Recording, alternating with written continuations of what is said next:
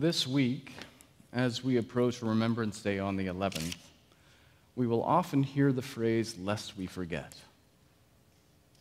The term comes from a poem by the British poet Rudyard Kipling. It was written for Queen, Queen Victoria's Diamond Jubilee in 1897.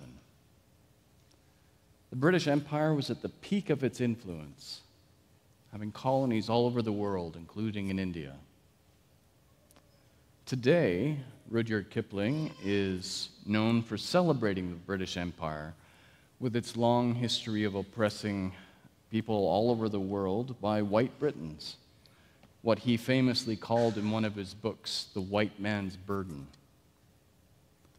So it's not surprising that of all poets, he was asked to write a poem celebrating the Queen and her empire. And yet, in this poem, he seems to at least momentarily have a change of heart about the virtues of empire. He sounds a note of caution, even of regret. The title, Recessional, is the kind of hymn that the choir sings as they're leaving the church, as the service is ending. And so to call a poem about the British Empire recessional suggests that he thinks it's on its way out.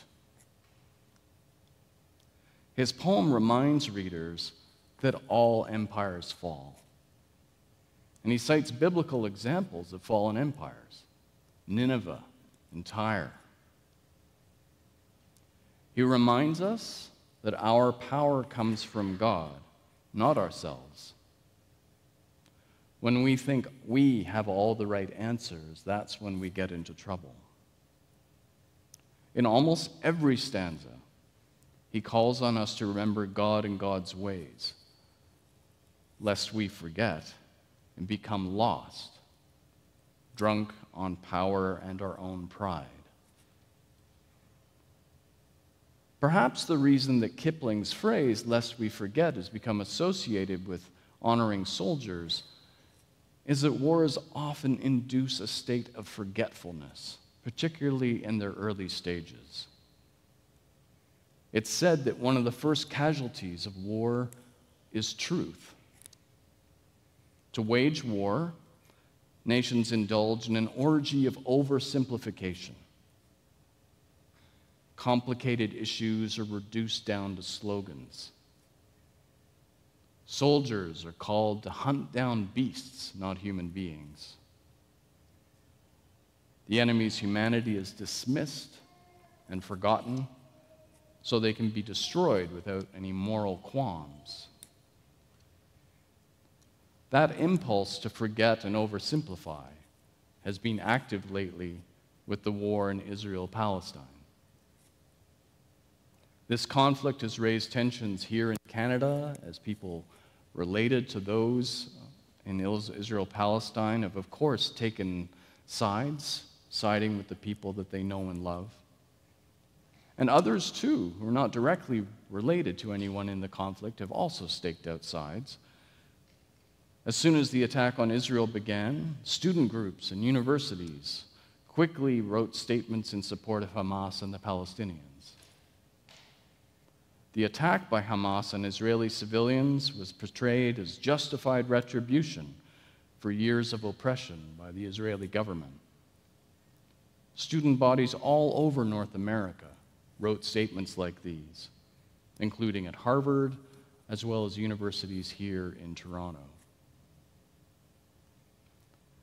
University administrations quickly responded by condemning these statements at York University, the administration went so far as to shut down the student unions. This church is across the street from Glendon campus. And if you go to Glendon campus now, you'll find that the student union office is closed. It's dark. And there's some question about whether the student unions will be decertified because of this. Media outlets like the CBC have told their journalists not to use the word terrorist when describing Hamas. It's getting harder to discuss these issues freely. Among Jews here and in Israel, there has been a feeling of abandonment. The West's call for a peaceful resolution of the situation, an immediate ceasefire, which began as soon as the war started, have been seen as a de facto siding with Hamas and the Palestinians. It's as though the pain and horror of the initial slaughter of civilians was somehow neutralized in the world's eyes as soon as an equal number of Palestinians had been killed. And everything after that was simply overkill and cruelty. On this day, when we use the phrase, lest we forget, we should also recall the Jewish version of that phrase, which is never again. That phrase is meant to remind us the Jewish people should never be subject to genocide again. The Nazi attempt to extinguish the Jewish people should never be allowed to happen again, and all steps in that direction should be stopped. For centuries, the Jewish people in the West have been seen as second class citizens. And we Christians can take a lot of blame for that. Christians have marked them as people who rejected Christ and who even contributed to his death. This is a lie. He was killed by the Roman Empire at the prompting of a few temple officials who would not, in their time, even have been considered legitimate representatives of the Jewish people. But this lie lives on even today in some circles. Jews throughout European history have been subject to attacks for simply existing, even with entire communities wiped out in pogroms. This culminated in the Nazi ex- concentration camps with an explicit attempt to destroy all Jews. The shock and horror of this genocidal attempt led to the creation of the modern state of Israel as a refuge, a place where Jews could finally be safe and call home. The attack by Hamas that killed 1,400 civilians and soldiers was the worst single attack since the days of the Nazi concentration camps. Hamas's mandate stated in their own manifestos, is to destroy the state of Israel. It simply should not exist. Their animosity against all Jews is cited directly in their founding statements. To Jews, the attack by Hamas is the latest in a long line of efforts to eliminate the Jewish people simply for being Jews. If never again is to have any meaning, then Israel, and many Jewish people feel that the state has every right to strike back against this genocidal attack. But how much is enough? From a Christian perspective, the answer is simple no innocent lives should be lost to achieve a military objective.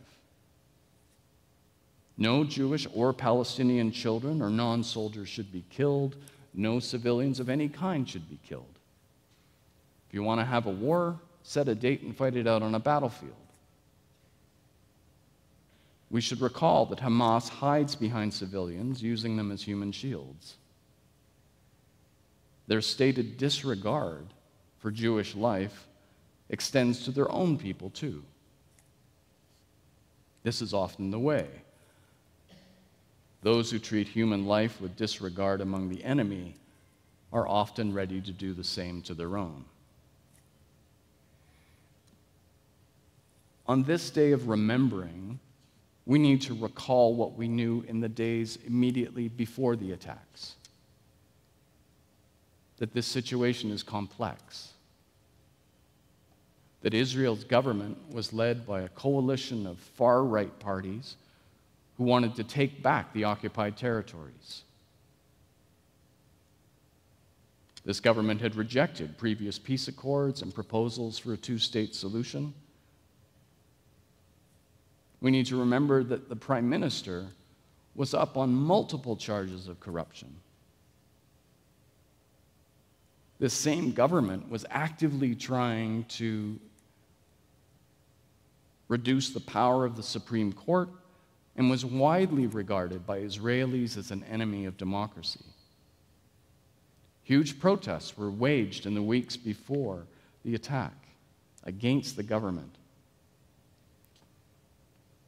On this day of remembering, we should also recall that Hamas won power in a civil war in 2007 and has never allowed elections since. They are the dictators of the Gaza Strip and have no interest in democracy or peaceful solutions. Neither government wanted to foster peace or democracy. This was plain the day before the war began, and we should not forget it now. When governments lose interest in peace and the interests of their own people, we should not be surprised that tragedy follows. In today's psalm, the writer cries out against the ungodly who surround them. They yearn to be in God's presence again at the holy temple where there is joy and safety. The psalmist calls for God's light and God's truth. The God who this person worships is not a God who delights in war, but one who calls for God's people to always take care of the stranger in their midst, to treat the foreigner and non Jewish people with equal consideration. They are to be protected and treated as equals. In the book of Deuteronomy, God states, For the Lord your God is God of gods and Lord of lords, the great God, mighty and awesome who is not partial and takes no bribes, who executes justice for the orphan and the widow, and who loves the strangers, providing them with food and clothing. You also should love the stranger, for you were strangers in the land of Israel. The land of Egypt, excuse me. In this time of forgetting and oversimplification, let us remember that the state of Israel is not just a home to Jews. Within Israel, not counting the occupied territories, almost one quarter of the population are Arabs with citizenship. Among the seven million Jews in Israel, a little over half are secular and are not religiously observant when Hamas attacks Israel as a Jewish state, it ignores the large proportion of Israeli citizens who are secular and Muslim. Indeed, when Hamas launched its attack, it attacked not only Jews, but also Arab Bedouin, who are Muslims. Hamas wants to destroy the country of Israel and wants the world to forget that Israel is a pluralistic society. Hamas doesn't want Jews and Muslims and secular people living together peacefully. Hamas wants a Muslim only state and for the Jews to simply be pushed off and disappear. As Christians, we live in Israel every Sunday. We know it as a place where Christianity was born. It's a place where Jesus moved among pagans and Jews alike, offering healing to them both.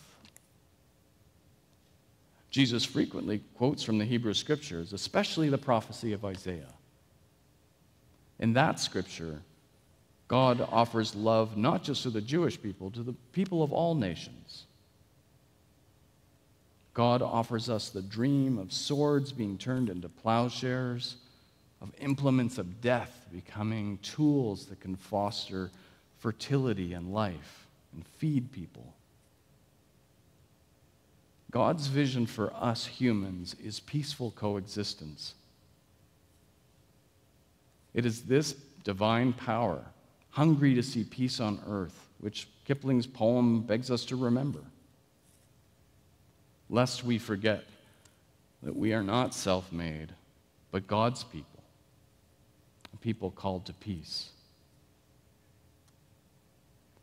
The current war is being waged by two governments who have shown little interest in negotiating a way to living in peaceful coexistence. These governments have both been enemies of democracy and do not adequately represent their people. This is a war between governments, not a war between peoples or religions. Our God, the God of Christians, Jews, and Muslims, and everyone else, calls for peace among all peoples. Our God will be more impressed by a Jerusalem shared by people of multiple faiths than one surrounded by barbed wire with just one faith in charge. To do that would require a significant change of heart, away from pride. In Kipling's words, still stands thine ancient sacrifice, an humble and contrite heart. Lord God of hosts, be with us yet lest we forget. Lest we forget. Amen.